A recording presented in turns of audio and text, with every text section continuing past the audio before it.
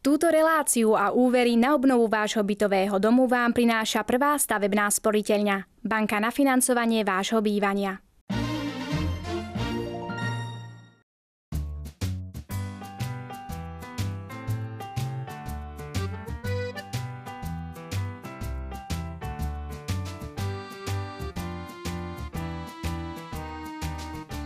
Aj dnes vám prinášame rady, ako investovať v bytovom dome, ale aj vo svojom byte, aby ste si skvalitnili a možno i zlacnili bývanie. Jedna z ciest je využitie tepelných čerpadiel.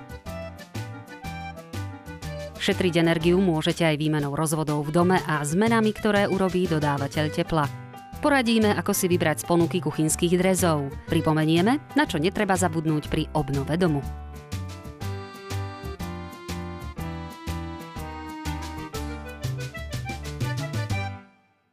Pred dvoma rokmi v tomto bezmála 60-ročnom dome začali komplexnú obnovu.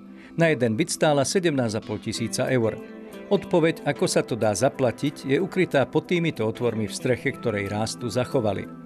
Pri energetickom audite zistili, že na sídlisku nie je dostatočná kapacita plynu, takže jedinou možnosťou bolo riešiť výrobu tepla za pomoci elektriny. Aby to bolo efektívne, museli pridať tepelné čerpadlá. Tepelné čerpadlá, ktoré sú tu umiestnené, potrebujú na výrobu tepla 1 kWh primárneho zdroja elektrickej energie, v našom prípade a vyrobí 3,3 kWh tepla. Dá sa teda povedať, že pokiaľ by sme to vyrábali e, vyslovene len z elektrickej energie, tak by sme potrebovali 3,3 násobok primárnych zdrojov energie. Prvé tepelné čerpadlo, ktoré pracuje dodnes na Ženevskej radnici, skonštruoval slovenský vynálezca Aurel Stodola. Jeho princíp je zázračný.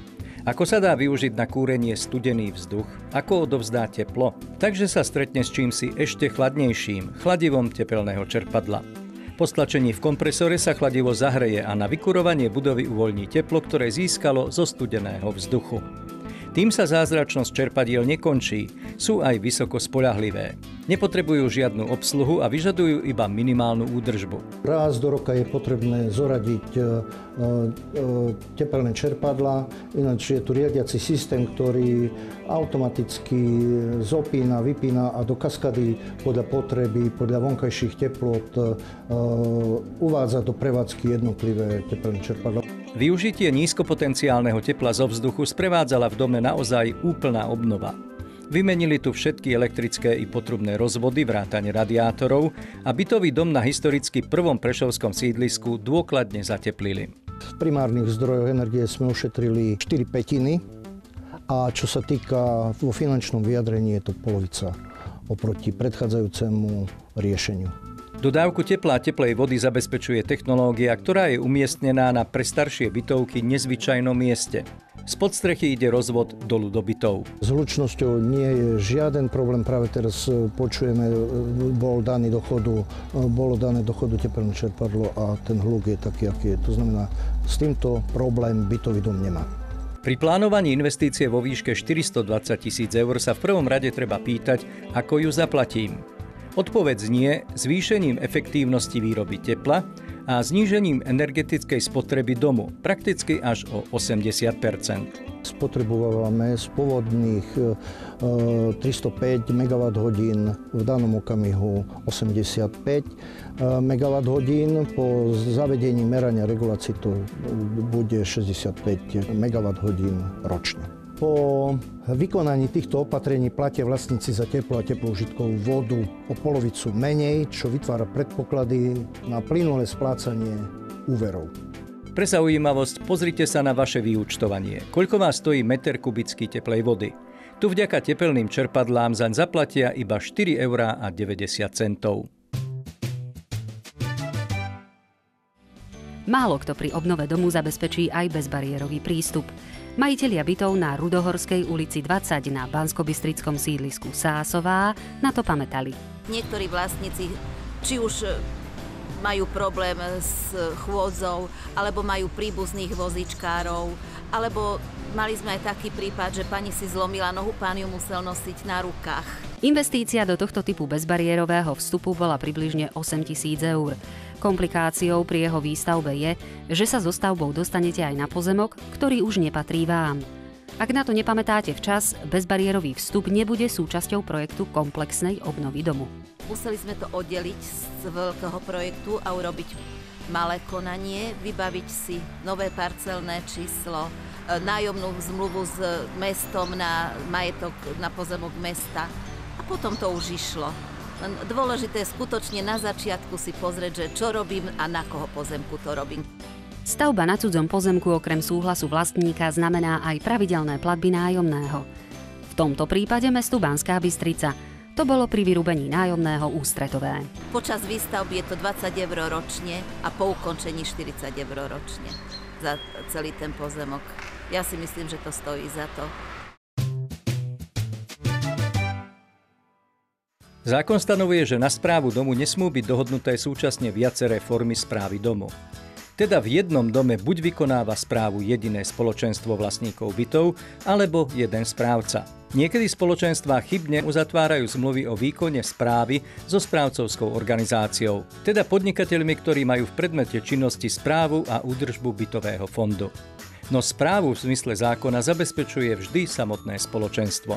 Spoločenstvo môže uzavrieť mandátnu zmluvu na zabezpečenie niektorých služieb súvisiacich s výkonom správy. Hovorím niektorých služieb kvôli tomu, že táto mandátna zmluva nemôže byť uzatvorená na výkon celej komplexnej správy bytového domu. Teda spoločenstvo môže mandátnou zmluvou poveriť iný subjekt, aby vykonával napríklad ekonomické služby, teda vedenie účtovníctva za bytový dom vrátane vypracovania ročného vyúčtovania, právne služby, teda vymáhanie pohľadávok spoločenstva od vlastníkov, či inžinierskú činnosť pri obnove domu. Nemôže však celý výkon správy domu preniesť na mandatára. Mandátár je len dodávateľom e, niektorých služieb a povinnosti od neho možno vymáhať v zmysle uzavretej mandátnej zmluvy a v zmysle obchodného zákonníka. Nie podľa zákona o vlastníctve. V inej situácii sú vlastníci bytov tam, kde nie je vytvorené spoločenstvo. Tu zatvárajú zmluvu o výkone správy a pre správcu platia práva aj povinnosti uvedené v zákone o vlastníctve bytov. Na mandátnu zmluvu, ktorú môže uzavrieť spoločenstvo, sa tento zákon nevzťahuje. Aj tie povinnosti, ktoré správcovi ukladá zákon a nemusia byť zmluvne so správcom dohodnuté, v mandátnej zmluve, pokiaľ ich od mandátára vyžadujeme, musia byť v tejto zmluve dohodnuté. Aký dres si vybrať? V ponuke sú nerezové, silgranitové a keramické drezy. Samozrejme do úvahy prichádza aj dnes už nemoderné riešenie – osvečené smalty. Najväčšie zaťaženie dnes sú keramické drezy. Je, vyplýva to z, toho, z tej podstaty samotného materiálu. Je to pálená hlina, ktorá má povrchovú úpravu, ktorá odoláva chemickým látkam, odoláva vysokým teplotám vďaka tomu, že je spracovaná tak, ako je spracovávaná. Drvivá väčšina z nás sa bude rozhodovať medzi nerezovým a silgranitovým drezom, pretože keramické sú výrazne drahšie. Nerez je osvedčený materiál, ale menej tvarovateľný. Módne tvary majú len zvárané drezy. Iba tak možno vytvoriť ostré uhly. Slavou stránkou rezu je údržba, to znamená, tie drezy sú troška náročnejšie na údržbu, ako sú tie keramické drezy alebo silgranitové drezy. Vďaka tej vlastnosti materiálu. Nerez čím dlhšie sa leští, tým je lepší a tým krajšie vyzerá. To znamená, nerezové drezy zo začiatku nevyzerajú tak dobre ako po 5-9 rokoch používania. Ak sa neviete zmieriť s nechcenými škrabancami, zvolte matnejší povrch, pretože čím je dres lesklejší, tým viac na ňom vidno prvé škrabance. Inou možnosťou je vybrať si silgranitový dres. Je o mnoho tvrdší, pretože ide o mletý kameň. Sú dizajnovo zaujímavejšie ako tie klasické nerezové drezy. Sú bezúdržbové, pretože ozaj nepotrebujú nejakú špeciálnu údržbu raz za čas umyť a je to OK.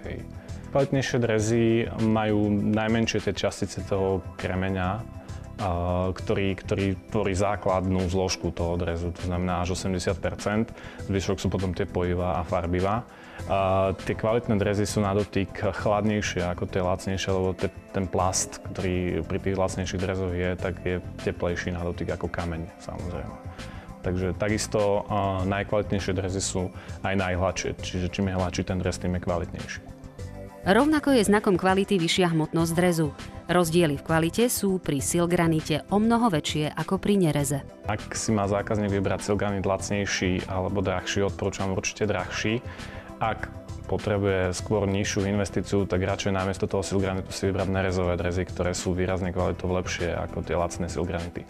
Dôvod je ten, že drez je najviac používaný v kuchyni a najviac vystavovaný rôznym teplotám, to znamená, je to raz teplá, raz studená voda, vyššia teplota, nižšia teplota a týmito procesmi sa tie drezy poškodzujú, menia farbu pri tých lacnejších drezoch a takisto sú náchylnejšie na na praskliny, ktoré sa potom nedajú vyčistiť. Drahšie silgranity sú aj po rokoch bez prasklín. Hrúbka a rovnorodosť materiálu znamenajú veľkú výhodu. Pre tých vlastnejších je to väčšinou len nejaký nástrek alebo nejaká povrchová úprava. Pri tých kvalitnejších drezoch je v celom priereze úplne rovnaký materiál, to znamená, aj keď tam vznikne nejaké poškodenie, dá sa opraviť. Kvalitný silgranit je hladký. Ak na ňom počase nájdete nečistoty, zachytili sa nie na samotnom dreze, ale na vytvorenom vodnom kameni. To je záležitosť tvrdosti vody. A všetci výrobcovia majú čistiace prostriedky, ktoré sú určené na čistenie vodného kameňa. Nie je dobré používať nejaké agresívne čistiace prostriedky, ale najlepšie od výrobcov, od ktorých máte kúpený ten dres. A oni zároveň slúžia aj ako penetrácia alebo ochrana na lepšie odtok tej vody. Tým pádom sa ten vodný kameň pomalšie vytvára a nie je potrebné to tak často čistiť. Ak si nevyberiete nerez ani silgranit, zostávajú vám ešte drezy, ktoré sú súčasťou pracovnej dosky z umelého kameňa. O tom, podľa čoho si vyberať kuchynskú pracovnú dosku, si povieme v nasledujúcom vydaní nášho magazínu. Nevhodne pod podlahou v suteréne donedávna viedli potrubia, ktoré dodávali teplo do bytov v tomto dome. Straty tepla v desiatky rokov starých potrubiach so zlou izoláciou ešte zhoršovala vzdialenosť od výmeníkovej stanice. Vlastníci bytov v tomto dome na ulici SNP v Považskej Bystrici sa museli uspokojiť s vodou teplou iba 40 stupňov Celzia. Hoci norma hovorí o teplote v rozmedzi 45 až 55 stupňov. Riešenie priniesla až zásadná zmena. Dodávateľ tepla inštaloval v dome komplexnú odovzdávaciu stanicu tepla, teda spotreba sa meria v mieste dodávky. Majitelia pridali rekonštrukciu rozvodov. Konečne presne vedia, kam vedú a ako sú zaizolované. Kým doteraz tu platili za meter kubický teplej vody 14 eur, teraz cena klesla na 10. Teda nemusia platiť o 40 viac za vodu, ktorá nesplňala parametre. Problémov so starými rozvodmi a vzdialenými zdrojmi tepla je u nás viac ako dosť. V budúcom vydaní budeme hovoriť o tom, či je šanca, že sa to zmení. V nasledujúcej časti nášho magazínu sa budeme venovať aj rekonštrukciám balkónov. Vedeli ste, že ho pri obnove domu môžete aj významne zväčšiť, alebo dokonca dať postaviť aj tam, kde balkóny nie sú? Okrem iného poradíme aj v tom, podľa čoho si vybrať pracovnú dosku do kuchyne.